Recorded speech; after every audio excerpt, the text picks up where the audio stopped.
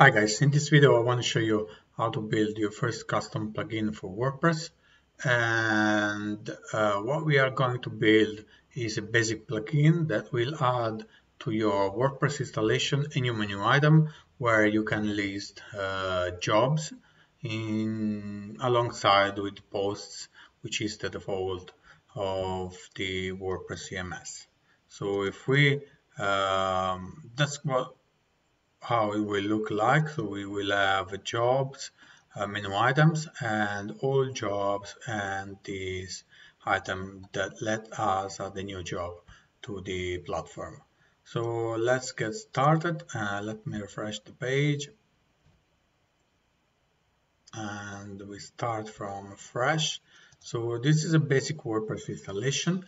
It's the one that we used in the previous videos uh, to demonstrate how to use the WP CLI to download, install WordPress, configure the database, and start and stop the WordPress server. If you don't know how to do these basic tasks, uh, review the previous videos. Uh, so um, let's get started. If we visit the plugin page, we see that we only have this plugin and nothing else inside our um, WordPress website. So let's get started with it. So let's uh, first check how to scaffold. Uh, that's the name of this app command that we are going to use. Uh, so uh, let's see the help page.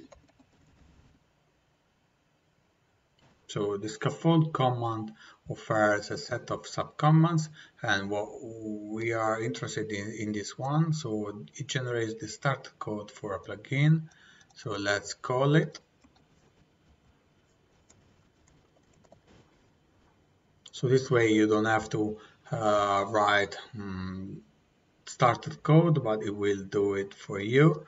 Let's grab the synopsis synopsis up to this point so uh, I want to use the CIs and deactivate and deactivate network or the force flags in this demo. If you need them, you can refer uh, to the documentation on how to use them. So the plugin slug is gonna be uh, should be a unique unique slug. So let's call it FPJB jobs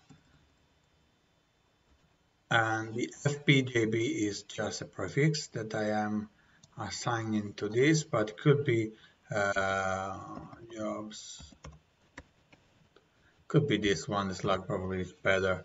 The directory name we don't need this flag the, this flag because it will um, scaffold the plugin files inside an already existing folder but we don't have that. Then the uh, name of the plugin is going to be jobs org and then the plugin description is going to be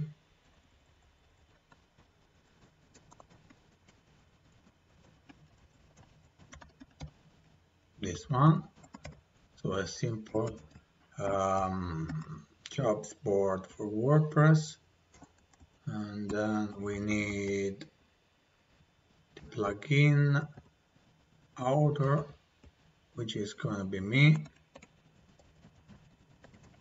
Here you can type your name. Then we need to use the plugin author URI and plugin URI. So plugin author URI is going to be um, your website, your portfolio uh, URL. So um, my case is gonna be this one fabiopacifici.com and then the plugin URI should be the place where you um, deploy your plugin website. I mean, a website where you showcase to users how your plugin works, maybe with a video uh, and some screenshots, uh, which goes alongside the um, official um, plugin page which is built from WordPress uh, if you send them your plugin. and I'll show you what I mean in a minute after we finish uh, this demo. Uh, so the plugin URI is going to be in this case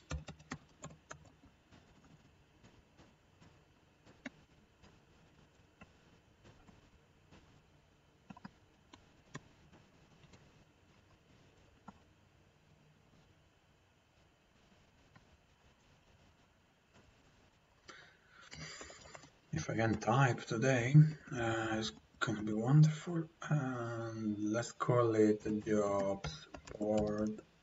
This URL it doesn't exist yet, uh, but in case it will be where I would put a website for the plugin. And then we use the skip flag, skip tests. Uh, so we instruct the um, application not to scaffold also the test files because we are not going to write any test for this plugin so that's it. So we can copy this code inside the terminal and press enter and we should be all done. And in fact we got a success message.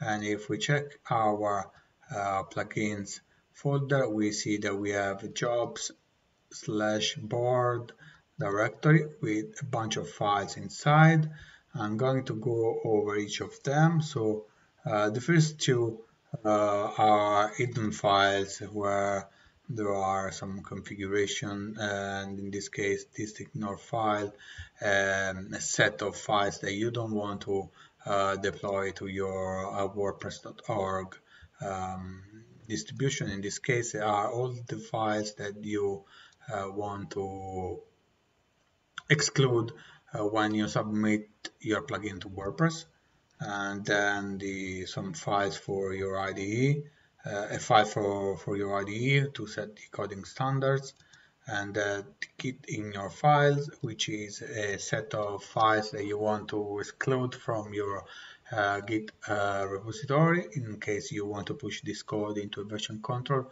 uh, like GitLab, GitHub or Bitbucket then we have a task runner file, so the Grunt task runner file. Uh, so default, you can use it to run some uh, basic tasks like um, the readme file, um, the translation, and um, yeah, so far that's what there is in it. Uh, you can add more tasks by visiting the Grunt um, file, the, the, Grunt website. And then we have our uh, main entry point for the plugin, which is the jobs slash board, uh, which is the, um, as I said, the main entry point for the plugin where we will put our code. And then we have a package.json file for the dependencies. So if you plan to use Grunt uh, for your plugin, um, make sure you install the dependencies. Uh, I'm not going to show you how to do that. It's out of scope for this demo. And then we have the readme.txt file where you will um, describe how your plugin works, what it does, and that's the text that will uh, be used to generate your official plugin page on the WordPress.org website. I'll show you uh, that in a, in a minute using this plugin that I've built and it's uh, available on the official WordPress uh, repository. Uh, so that's it for uh, the list of files. Uh, let's see what our plugin does and so far it obviously does nothing because as you see here where is the jobs board file is empty so let's see uh, a list of plugins that we have in the system using another command uh, from the WordPress CLI uh, tool. You just ignore these error messages if you got them. Uh, what we are interested in is this table. Uh, it lists two plugins. One is inactive, which is the plugin we, just wrote. So let's activate it using another subcommand of the plugin error. Yes, again, uh, you need to type the name of the plugin that you want to activate, of course, or otherwise you can use the all flags um, to activate all plugins. So that's why I showed you this uh, the previous command so you can see the name of the plugins that are in your system. So we have successfully activated one plugin and let's refresh our page so our dashboard and see what we get.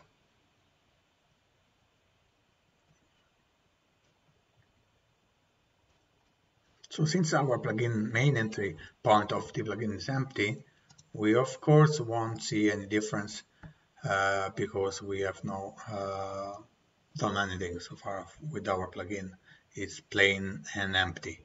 So let's scaffold a new post type. So we have posts and under posts I want to put jobs so we can uh, write some jobs descriptions for our website and for our jobs board in this case and um, take applications maybe in the future.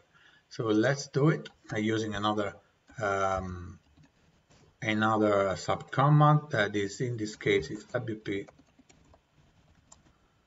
um, post type. Let's check the help of this subcommand. And what we are looking for is the synopsis. And up to here I don't I don't care about these two flags so far for now. So let's quit the code pressing Q and let's copy our no, let's copy our um, synopsis in a file so I've just created an empty file where uh, I'm going to edit the synopsis. So this log is gonna be job job and then the label is gonna be jobs. So the label of the plugin is this uh, of the custom post type is this um, name that you see here. So posts media pages comments and so far uh, and so on. And then the text domain is a unique um, piece of text that will be used for the translations if you want to translate your plugin in multiple languages. And I'm going to use a prefix um, so the hopefully the plugin won't conflict with anything with any other plugin that we might have installed in our system. Then I'm going to skip the uh, dashicon flag for now. I'm going to go back to it in a second. And then we have the plugin uh, I have deleted the theme um, the theme flag because we will put this new custom post type inside a custom plugin which is the one that we have just created and it's the name of the folder where we can find this plugin is JobsBoard as you see here and that's what the flag wants as parameter and then we have this parameter uh, to pass which is the dashicon. So the dashicon is a is, is this icon that you see on the menu on side of the menu uh, inside your WordPress admin panel. And what I'm going to use is this dashicon business person. So you grab the name of the icon and you copy it. Uh, you copy here for the flag and if you want to use a different uh, icon you can look at the um, dash uh, at the developer.wordpress.org resources dashicon uh, dashicons um, page where there is a list of icons that you can use for uh, your custom post types and uh, inside your WordPress admin panel. So that should be it for our custom post type. And let's copy that inside our IDE uh, in the terminal and press enter. And we got another success message. Now let's check our jobs board. You see we got this new folder so the plugin has scaffolded the custom post type file inside a post types folder. That's where all the post types will be placed when you use this command uh, and then we have a job file where we can see we have a bunch of uh, we have a function so this function job init uh, where we register the post type we use this function uh, and then we use the add action uh, for the custom post type so we have a bunch of um, code um, which was generated for us by this um, WP CLI command.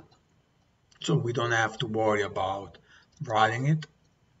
It's been generated for us. Here you see the labels uh, for our plugin, uh, for our custom post type. So um, jobs, all jobs, jobs archives, and so on. And then down here, we have uh, some other uh, code and in here this is an array a multi-dimensional array and we are interested in this bit of code now so the menu position by default the menu position is set to null which means that our menu item is going to be placed at the end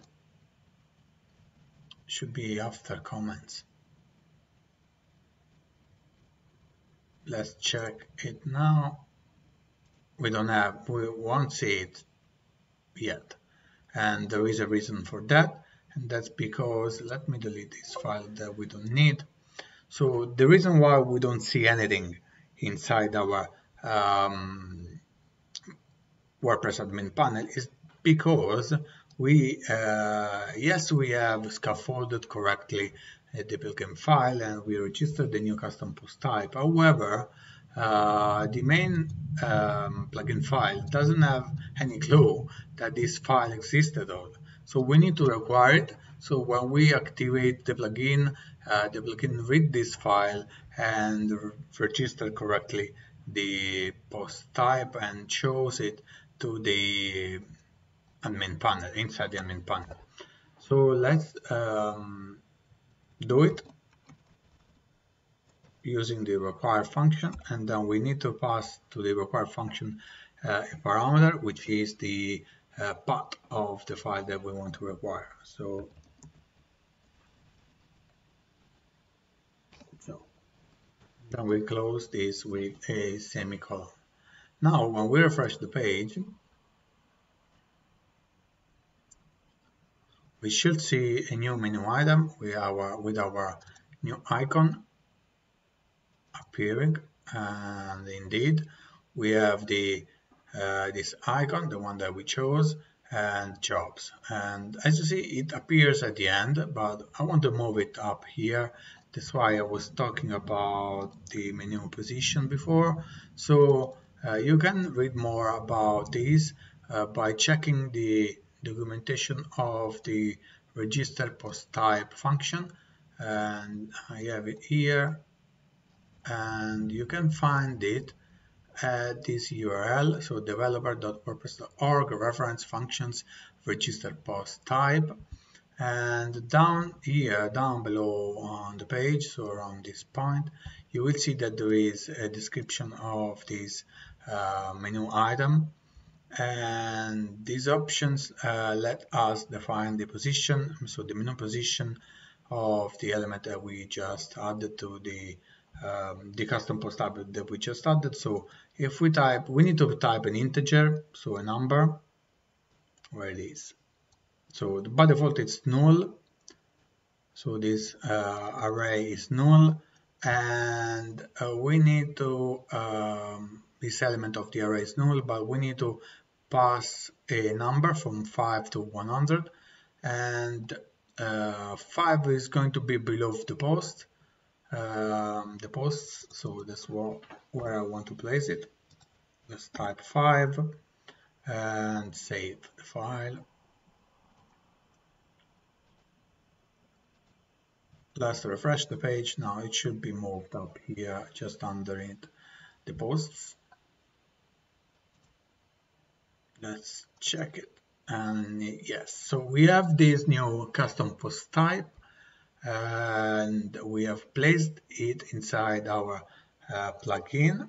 So this plugin for now uh, simply add uh, this new menu item to the WordPress installation and we can use it to add, for instance, a job description that we want to show to our website, inside our website.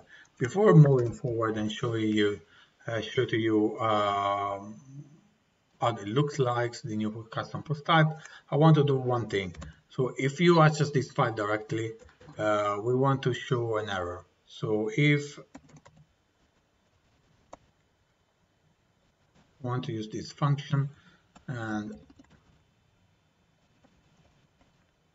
so if this function does not exist we want to die with a message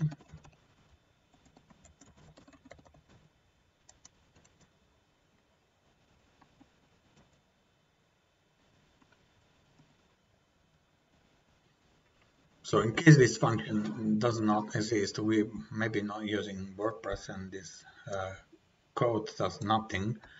And so we just want to die and say, well, sorry, cannot be accessed directly. Uh, that should be it. Let's refresh the page, see if we made any mistake. And nope, so everything is fine. Let's um, let's move to the WordPress side.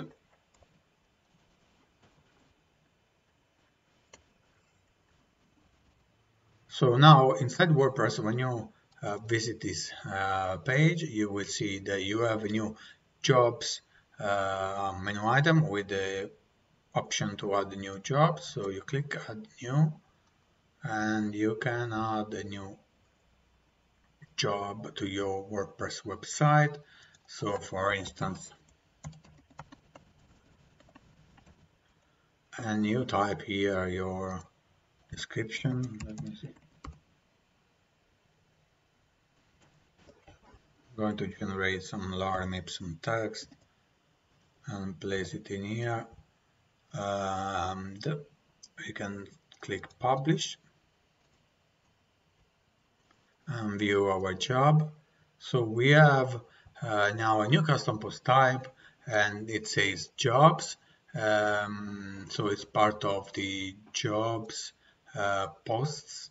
It's not a post from your blog, uh, but it's a new custom post type where you can uh, add a description and use it to show jobs that you want to list on your website. So uh, that's pretty much it for this video. Uh, the last thing that I want to show you is that from the um, from the job page you can of course use the new Gutenberg editor and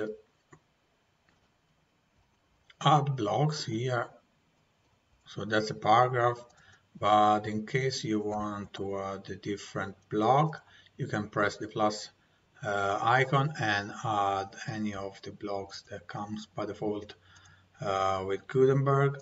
And you can format the post as you like add media or add different sections.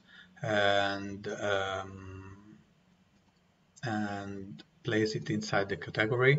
Uh, so one of the default in in one of the next video, I'll show you how to create a custom taxonomy uh, for this plugin that we have just built. Uh, that could be like instead of, as you see here, all the, po the posts them as categories and tags. And we could say that the jobs um, custom post types as uh, jobs categories and skills maybe that we can use. Uh, so that will be a good new feature for uh, one of the next videos. And let's check the plugin page. I want to show you one last thing before leaving you.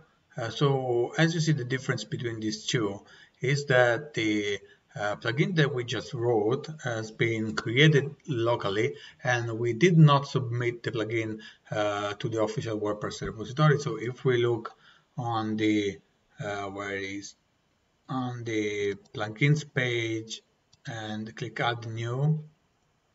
We won't be able to see our jobs board plugin if we search it um, but because we did not submit the plugin to WordPress. But if you look uh, for instance the one I submitted before so that's one of the plugins that I've built it has a different um, links down here so it still has the link of the author so uh, it redirects to my website but also has this view uh, details that gives you more details. And that's where the uh, file that I showed you before um, where it is this uh, readme.txt file comes into uh, effect uh, because what we what you see here is actually what you wrote in here. And so uh, probably in one of the next video I'll show you how to customize that to make it this to make it look like this and um, how to submit a plugin to WordPress. Uh, so you can see installation um, information um, frequently asked questions the change log screenshots and the reviews that your plugins received. But uh, where it is you can see that on this side you have some more information like the plugin home page and that's the uh, plugin URI that we defined before for our plugin that it doesn't exist in the case of this um, jobs board. If we click on here we should get 404 because I did not uh, put any website um, under this URL but if you visit this one so if you visit the official website that I sent to WordPress and you visit the official plugin page you will see that there is a website for this plugin where I've put some information including a video on how to use it and, uh, and that's pretty much it.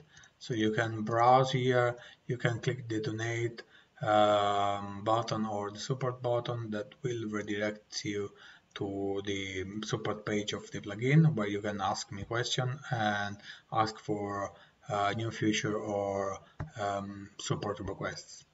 So that's pretty much it and thanks for watching and I'll see you in the next video. Cheers